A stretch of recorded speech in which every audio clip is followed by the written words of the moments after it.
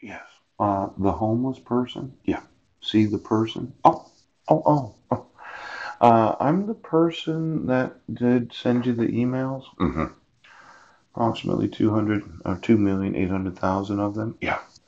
I'm the person that made the videos Mm-hmm. and I emailed them to you. Yes. I'm the person that is telling you Yes. that you committed the crime of financial institution fraud. Yes.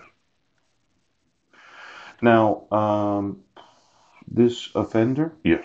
Mm-hmm. that's who you see me as, isn't that right? Someone who has committed a crime, Mhm. especially one who has been convicted of a crime. Yes. Now, your want was to say that I was a habitual offender, Yes. Mm-hmm. someone who commits the same or similar offense a certain number of times Yes. in a certain period Yes. as set by statute and is therefore eligible for an enhanced sentence. Uh, recidivist. Yes. Now, well, that that's what you wanted to say. Mm-hmm.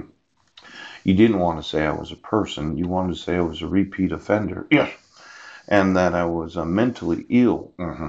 Now, just look at this recidivism. Yes. Recidivism. Mm, mm.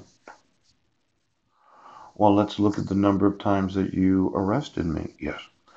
The whole time I've been emailing you about my rights being violated, Yes. and your answer to your problems was to arrest me, Yes. charge me with violating uh, the restraint provisions of the protection order Yes. that more than likely was given to the financial institution Yes. without any proof of the actual identity of the individual. Mm. Now, who's committed the larger crime? Oh, you Mm-hmm. or myself, the person that never committed a crime? Oh. Oh, oh. See, I wasn't in Sequim, Washington. Yes. I wasn't in Jefferson County. Right.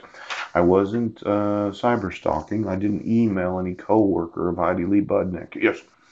And you're sitting there saying, well, now we're guilty of financial services and financial institution fraud. Yeah.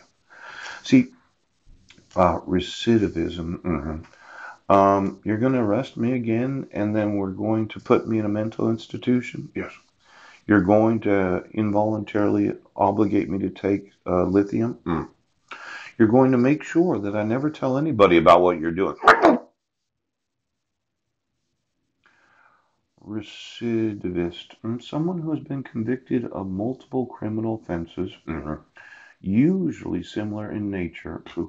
A repeat offender, proponents of prison reform argue that prisons don't cure the recidivist.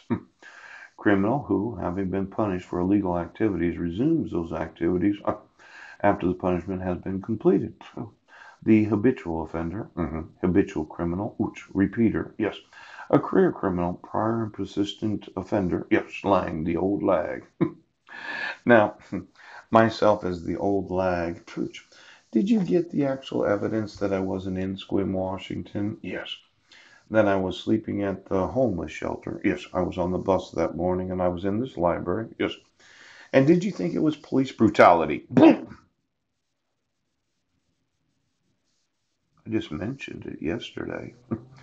Today's lawsuit is I'm suing you for not having a signature on court documents and then refusing to acknowledge myself as a person because I've asked you to verify the signatures on every court document in Clallam County, every court document in Jefferson County, Mm-hmm.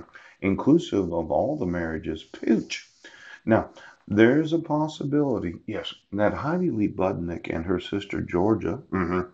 have been Heidi Lee Budner, poop, and you've been allowing for the issuance of court orders, Yes. administrative orders, that have been given to financial institutions so they could commit a large amount of fraud. now, when you really think about yesterday being worse than today, Yes. you Oh.